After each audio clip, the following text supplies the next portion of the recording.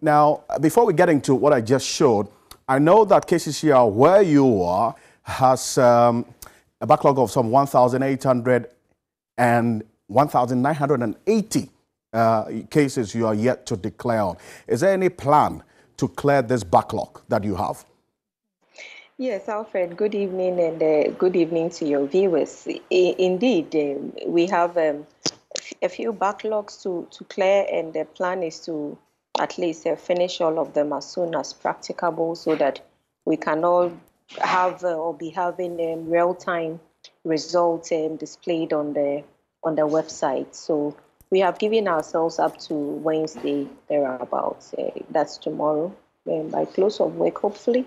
Um, the, the interesting thing is uh, we are very small in terms of um, numbers. And remember, all, all along, we have been testing samples from 11 regions, 11 regions. So uh, 11 good regions um, across the countries. So Ashanti region and all the other, um, the other parts up up up north. I mean, sometimes you even receive samples from some parts of the central region as well as some parts of the of the western region.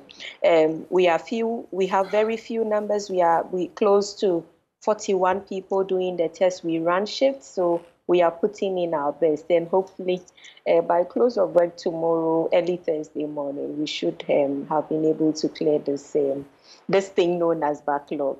Absolutely, and that, that's something good to know.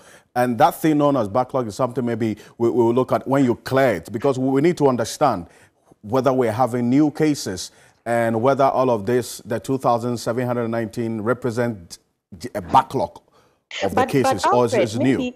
Maybe even before before that, we also need to realize that uh, we are not only testing backlogs, but then we also test samples from hospitals. So if, for example, in a day we receive like um, 50 samples from, from hospitals, then we don't count it as a backlog, but True. then we still end up um, testing testing the, such samples. I see. I, am going to hold you on a bit because uh, I want to zoom in into the Greater Accra region because uh, we, I mean, this region where we are accounts for almost over 80%, I think, of the total cases that we've recorded. But the head of virology at Noguchi Memorial Institute for Medical Research, Professor William Ampofo, has disclosed that all backlogs of samples have been cleared as of Tuesday, May 5. At the news conference in Accra, he further revealed that the Kumasi Center for Collaborative Research is left with just about 1,982, as I said earlier. Just take a look at this.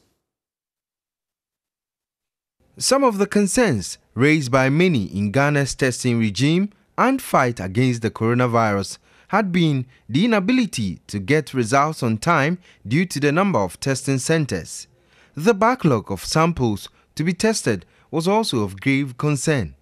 Professor William Ampofo is head of virology at the Noguchi Memorial Institute for Medical Research.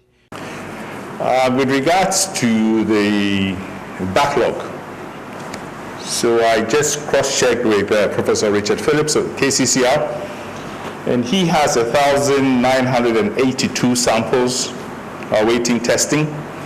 Um, it was 3,500 yesterday, so they worked all night. And um, he expects that by Thursday, the backlog will be done. Um, for Noguchi, we have no backlog. He revealed that plans are far advanced to ensure a lot more centers are equipped to do more testing. A week ago, the KNUST and INCAS Diagnostics created a rapid diagnostic test RDT kit to help test for the novel coronavirus. Professor William Ampofo says the kits, which were sent to the Food and Drugs Authority, has been forwarded to Noguchi for evaluation and a report will be sent back to the FDA in the coming days. That, that, was just to give you more detail what I mentioned earlier with KCCR's backlog. But Dr. Sylverken, so the Greater Accra region has about 2,382, I think, cases out of the 2,719. For you as a virologist, what does this figure communicate to you? Um, indeed. So it means that in, in the Greater Accra region of Ghana, um, they are accounting for like 86% uh, of the total confirmed um, cases. And um, of this is this is this is definitely worrying. And i keep on telling my friends in in this region that look if you really don't have anything to do it's it's good you stay at home. And if you really even need to move out of your home then it behoves on you to wear a nose mask. I mean the required um, type of, of nose mask. Um, but this also has and again we also need to realize that um, we have these people who were quarantined in accra also adding up to, to this to this number. But irrespective of that, we can vividly see that um, that indeed Greater Accra is uh, the so-called very hot spot. If we look on the on the websites where the the spot map or the heat map has been has been displayed, and of course it also raises a lot of concern. But then once we know what is accelerating the, these high numbers, then we should also be able to put in the necessary mitigation uh, measures. I don't know whether for some of the areas you mentioned, Bawe and the likes, whether there are a lot of them or they, they have large informal settlements, for example, whether they are slums, whether people are not adhering to all the necessary measures we have been we have been recommending. So this definitely calls for a lot of um, concern. I can hear your dog barking, so I'm sure we, we, it tells just tells me that I have to let you go. Go see to your dog, okay? and um, thank you so much. Okay, thank that's uh, Dr. Augustina Sylverken uh, is a researcher at the Kumasi Center for Collaborative Research, also a lecturer and a biologist. And now, Director General of the Ghana Health Service, Dr. Patrick Kuma-Aboagye, has expressed worry the coronavirus pandemic is affecting other aspects of healthcare delivery. At a news conference in Accra, it disclosed antenatal attendance has seen a decline, which connotes people are not visiting hospitals for fear of contracting the virus. Here's a report by Seloma Menya. At the last first quarter of our review, we have had immunization services coverage coming down You've had growth promotion of children coming down, COVID coming down, antenatal and outpatient attendances are declining. If this goes on, it will have a consequential effect on the health outcomes in the end. The Director General of the Ghana Health Service mentions that beyond the coronavirus, other diseases including cerebrospinal meningitis and malaria have also claimed lives. It is worth noting that um, at the same period, we have recorded deaths from other diseases, such as 40 cases from CSM in one region, 54 uh, children have died from malaria at the same period. However, Ghana's case count remained unchanged from that of Monday, which stands at 2,719 positive cases, 294 recoveries, and 18 deaths. Since the last um, update, we've had an increase of about 550 cases. 480 of these cases has come from 24 districts out of the 26 districts in Greater Accra. And they have come mainly from Tema, which presented about 169, Accra Metro 43, and Ashaiman 41. The rest of the country presented 70 new cases. He announced that more than 200 persons are awaiting a second negative test to be declared recovered. Presidential advisor on health, Dr. Nsiah-Asare, maintains that the positivity rate of 2.0 and a mortality rate of 0.66 is due to the interventions laid down by government. Let's go on to some more stories. In the Western Region Minister, that's uh, Kwabena Okyere Darko Mensah, has revealed that the first batch of COVID-19 test results from the Veterinary Services Department Biosafety Level 3 laboratory in the region are expected to be released tomorrow, that's May 6th. Meanwhile, the region's confirmed COVID-19 cases have jumped from 9 to 25. All confirmed cases are asymptomatic. The Veterinary Services Department's Biosafety Level 3 laboratory on Monday received its first batch of 30 samples from the Public Health Reference Lab at the Effia Nkwanta Regional Hospital. All samples were taken in the region. Western Regional Minister Kwabena Okyere Darko Mensah, in an interview with TV3 News, revealed that the test results will be released Wednesday, May 6. when we continue like this, we'll be ahead of the game. So we can test more and we can get the results and isolate quicker. He announced that the confirmed COVID 19 cases have moved from 9 to 25.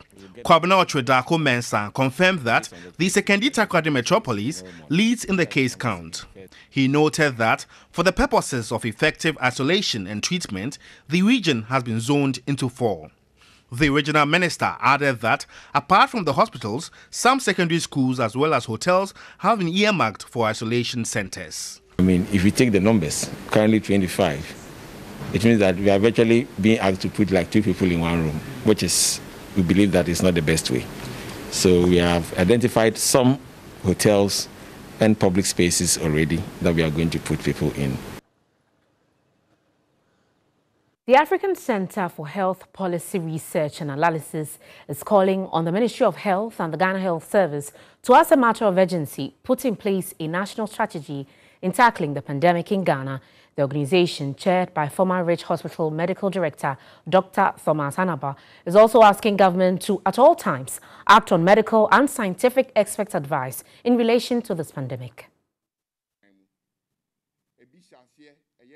The center calls on governments the Ministry of Health, the Ghana Health Service, to, as a matter of urgency, put in place a national strategy in tackling the pandemic in Ghana, available for everybody to see and track. It is not too late as the pandemic keeps raging on in Ghana. We've seen the figures. The observations of the former medical director of the Ridge Hospital who criticized government's approach in the fight. Dr. Thomas Anaba reckons government has, despite some good efforts, largely failed as the numbers have exposed its bad decisions. Educating Ghanaians, particularly in the rural areas, must be of special attention. The National Commission for Civic Education, the Information Service Department, which is, the very, which is in every region, must be resourced immediately to disseminate the needed information to help the fight and demystify their wrong beliefs about the pandemic. His recommendations are that government should relook the mode of testing, asking the Ministry of Health to be fully in charge of the coronavirus briefings. In the pandemic, a lot of money would have been saved and lives would have been saved. Thus,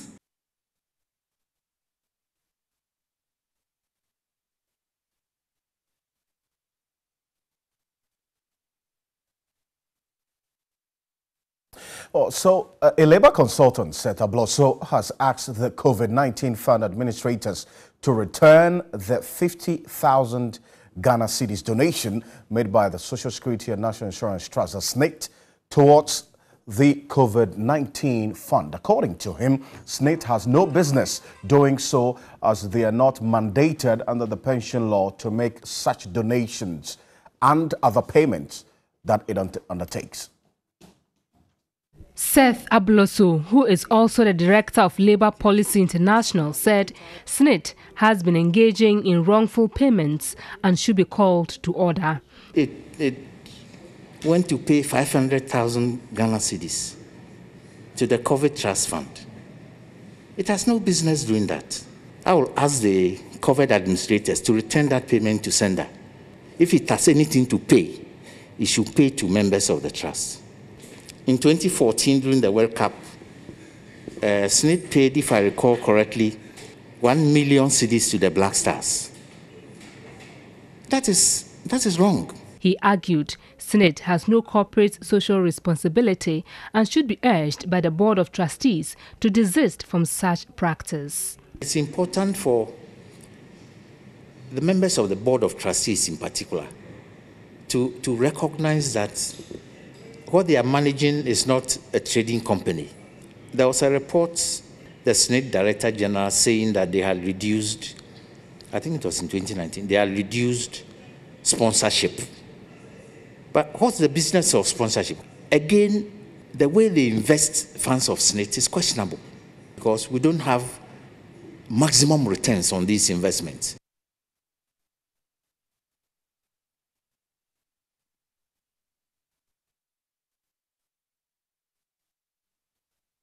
Welcome back to News 360 here on TV3. We're live on TV3 Ghana on Facebook as well as DSTV channel 279. Now, the Supreme Court has unanimously dismissed a suit filed by the Executive Director of the Africa Center for Security and Counterterrorism, Emmanuel Kotin, who challenged government's decision to sign United States-Ghana Military Cooperation Agreement. According to uh, the Supreme Court, they will, there's a seven-member panel, reasons for the decision will be ready on May 20. In 2018, the executive director of the African Center for Security and Counterterrorism, Emmanuel Kotin, and the Ashanti Regional Youth Organizer of the NDC, Brogya Genfi, filed a separate filed separate suits at the Supreme Court against the government, challenging the legality of United States of America Defense Cooperation Agreement with Ghana. Emmanuel Kotin wanted the Supreme Court to declare the agreement, which many Ghanaians, including some security experts, criticized as null and void. He challenged the basis on which Ghana's parliament ratified the agreement, which he argued was not executed between Ghana government and the U.S. government. Yabruja Genfi of the NDC also filed a suit praying the court, among other things, set aside the agreement on the grounds that it was not in the national interest of Ghana and contravenes the 1992 constitution.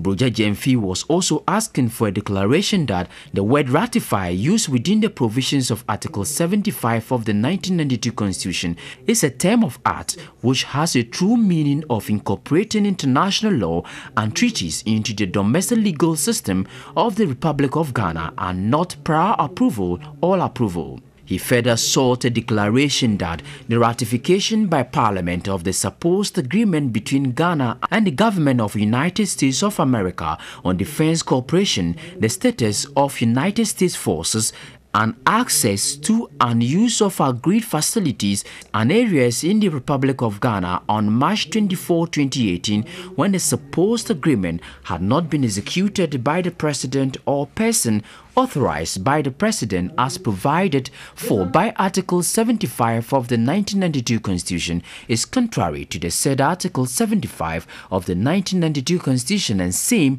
is null and void. The defendants in the matter were the Attorney General and Minister of Justice Gloria Akuffo and the Minister of Defense Dominic Nitiwul. Following the ratification of the agreement, U.S. troops had the opportunity, among other things, be exempted from paying taxes on equipment that is brought to Ghana as well as use Ghana's radio spectrum for free. Let's stay a bit further on this. Reasons for this ruling will be made known by the seven-member panel on May 20. But Emmanuel Kotin is uh, one of the plaintiffs to one of the cases, actually two. Mr. Kotin, thank you for joining us via Skype. How do you react to this, this development? Well, thank you, Alfred, and thank you for having me, and good evening to your cherished viewers. I think the Apex Court have spoken, and it brings a finality to the matter. But I think as a country, we have not been good students of public policy. We don't learn from uh, uh, our past. You realize that when this issue came up, it became a political banter. I was in court in the name of my organization, the Africa Center for Security and Counterterrorism, which is a policy think tank, and one other learned professor and uh, my brother Brenya. Mm. But when we're asked to consolidate the suits, you realize that since we are independent, we would have been breaking the time bound rule of consolidating our suit with a political player. So we withdrew our suit, same as the other learned professor. So if we're in court today, you realize that the judgment was passed in the name of Brenya and not me or the other contendant. So you see, I will plead with political parties that as a country, let's do lesson drawing, especially if you look at the developed countries. When it comes to matter of policy, the political parties come together. Right. If you recall the two Gitmo detainees issue, it was a banter between True. NPP and DC, and the okay. government, uh, uh, the, the Ghanaian people were the losers, same as the U.S. military agreement.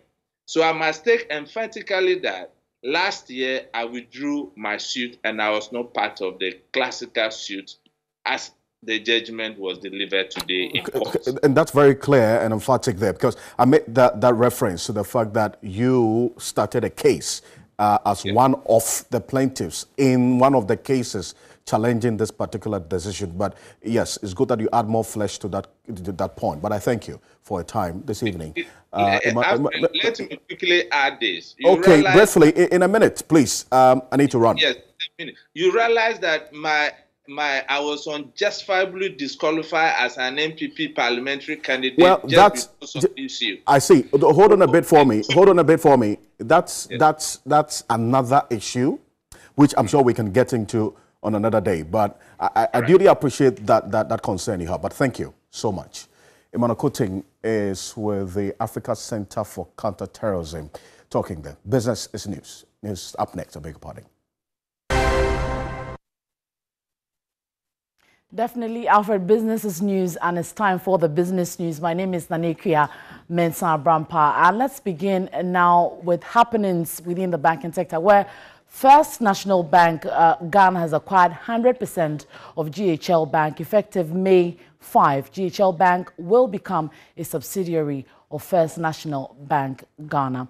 Excerpts of messages sent to customers read the transaction has been approved by the regulators and the boards of the two banks. Management has advised its customers to continue doing business with First National Bank. Ghana Home Loans was incorporated as a mortgage finance institution in 2006 and obtained its banking license in June 2017 under the name GHL Bank Limited. Before its acquisition, it, in addition to the provision of mortgage loan products and services offered retail and corporate banking products as well as services to meet the needs of Ghanaians as well as companies.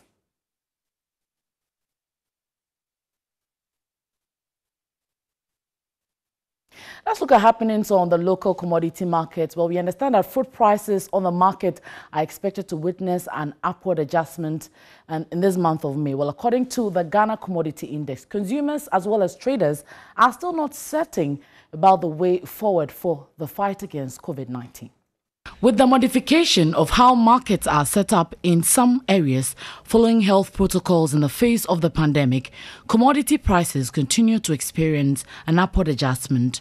Local commodities such as cassava, yam, maize, gari, local rice, and tomatoes all witnessed an increase in the month of April. A bag of cassava increased by 28.84% to close the month at 124 cedis, 33 pesos, with tomato also making a gain of 24.18% per crate to close at 826 Ghana cedis. Puna gained 22.11% to close at 814 cedis 69 pesos per 100 tubers. The average price of a bag of maize gained 18.11% to close at 164 cedis, with cowpea also making a gain of 15.26% to close at 428 cedis 29 pesos per bag. Gari closed at 228 cedis, 29 pesos, representing an increase of 13.66% in price. Local white rice gained 4.98% to close at 346.29 Ghana cedis per bag. Wheat increased by 4.51% to close at 296 Ghana cedis, 40 pesos per bag with groundnut shelled gaining 3% to close at 549 cedis 71 pesos per bag. For the month of May, food prices are expected to go up due to uncertainty surrounding the pandemic. So definitely when you are visiting any of the markets on a market day, be it Wednesday or Saturday, you should add some more pesos or cedis to your budget because prices will increase marginally at the various local markets.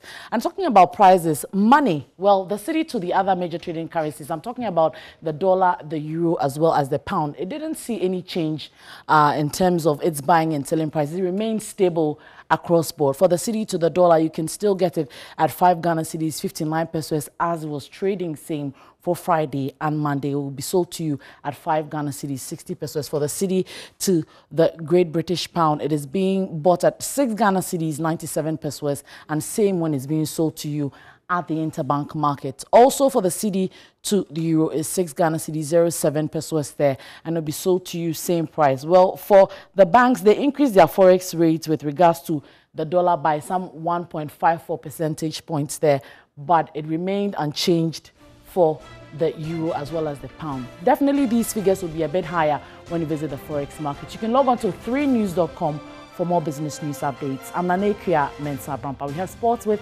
Thierry next. Good evening.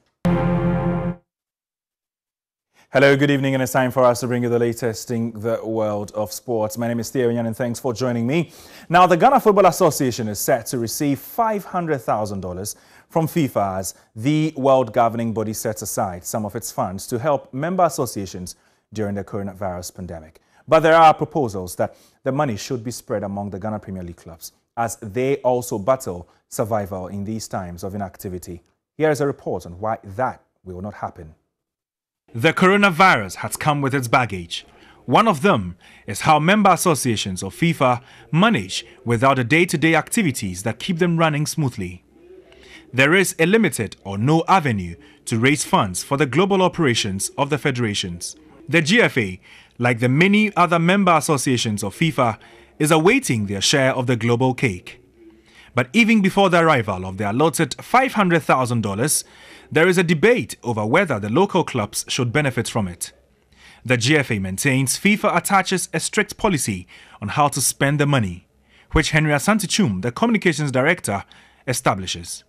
First of all, it's for financial engineering, um, helps you to work on your books, your auditing, and all that. Secondly, it's for operations, for domestic competitions, Thirdly, it comes in to aid your communication and your marketing drive. Here, I'm talking about your websites, managing the websites, your IT, and all that. And then, and then there is also um, um, um, one for administrative cost. So that is why they are sending the money at this particular point in time. Some clubs will not back down on their pursuit of what they claim as theirs.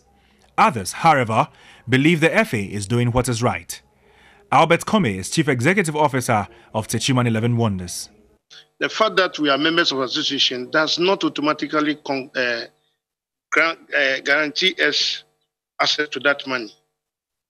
If the money that is coming has specific instructions to it, we need to respect that. What we can only do is for them to look at it and see if there is any way for them to look at it as a third party. So for us, we need to be patient and we need to ask questions or research to know what type of money that is coming, if it comes. Customarily, FIFA's member associations would have only received the full amount of the contribution upon fulfillment of specific criteria according to FIFA's policy. Instead, the global governing body of football is now transferring this amount as active support to help safeguard football across all member associations. All right, so we are definitely keeping an eye on all the developments there and we'll be bringing them to you uh, subsequently. Now, one thing that has put this year into disarray is the coronavirus, and sports has been one of the areas that has been hit hard. Now, leagues have been suspended, tournaments postponed, racing competitions rescheduled, among others. But the major one is the Olympic Games. Yafusulabi asked captain of the Team Ghana at the 2016 Olympics, John Ampoma, his take on it. This um, virus, you know, has uh, disrupted everybody's activity and schedules, uh, among other things. But um, right now, the most important thing is, you know, I'm staying safe and, you know, um, all facilities, training facilities and gyms and other stuff um, has been closed down. So I'm doing like, you know, some free uh, body weight exercise like push-ups and sit-ups and, you know, um, any other activity that does not involve the use of weights or being outside or, you know, uh, those are the things that I'm doing right now uh, to make sure that, you know, I, I stay in shape a little bit and also uh, to be safe uh, from, from the virus. Now, now, John. I mean, um, as an athlete, I'm, I'm, sure when the the postponements, the news of the postponements of the Olympics came to, uh, it, it, must have hurt you a bit. How did you take it? Well, I think um, you know, yes, it is it, it's very unfortunate that you know uh, this this uh, Olympics got cancelled. But the good thing is, you know, uh, we have another another um, time to prepare. Uh, the postponement. Um, is going to give us, you know, uh, I haven't qualified so it's going to give me like more time to prepare well. Right. Uh, on the other hand, we have other people that are also, you know, lose their jobs. People are dying and other stuff. So the situation that I am in right now is is not, uh, as an athlete, it's not different from what others, uh, other individuals are going through. And I, I think um, you know, Olympics is about friendship and, you know, uh, coming together and, you know, uh, uh, celebrating, you know, each other culture differences and other stuff. All right, so on that particular note, to bring an end to the sports here on News 360. My name is Thierry and thanks for watching. Let's do some entertainment news now. I'm Anita Akua Akuffo. And in entertainment tonight, from a medical laboratory scientist to a musician, Ofei Music has taken off to a good start with Nigerian star Patoranking. The singer bears it all in an interview with TV3 Entertainment.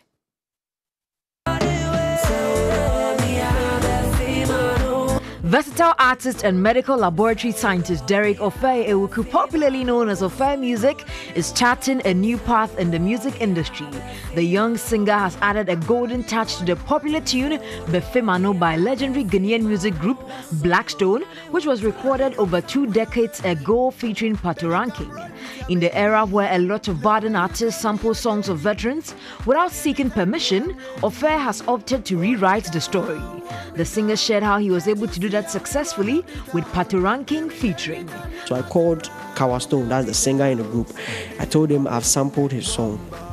He was like, No, you don't like that. The song is perfect. So I was like, I want you to listen to the song before you tell me what you think. Like, Okay, fine, I should send him the song. So I sent the song without Patoranking's verse.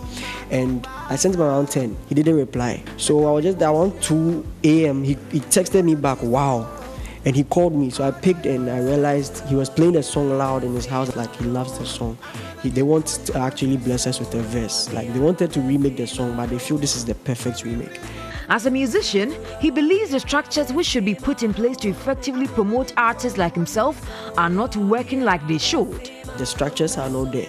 It's very, very difficult. And if you are not involved in the whole politics behind the whole thing, it's like it's sects. If you are not, if you don't belong to this sect, of people like you don't get the deals you don't they will not play your song the santorini hitmaker does not look forward to receiving royalties from ghana because of the poor structure of the music industry we will sit down and talk about royalties, talk about all these things like, yo, the artists should get their royalties. And they, they, they say all these big things, but we don't see them do them. I, as an, as an artist, is not looking forward like to getting any royalties in Ghana soon. All my royalties, I hope I'll get outside.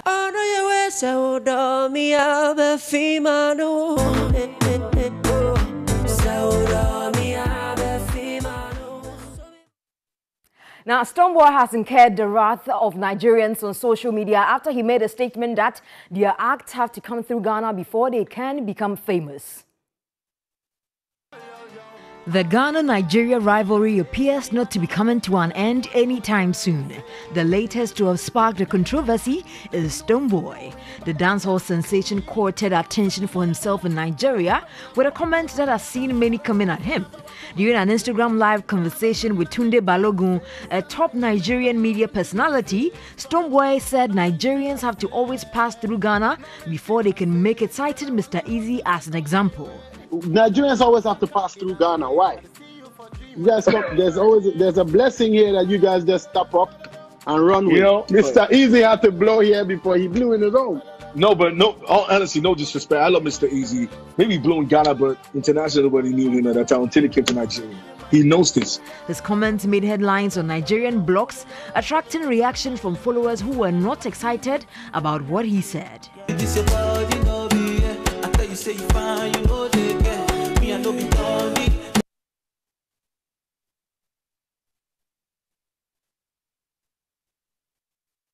That's it for entertainment. I'm Anita Akua As always, it's been an honor coming your way with the news here on TV3, and we're grateful to you out there for staying with us over the last 60 minutes.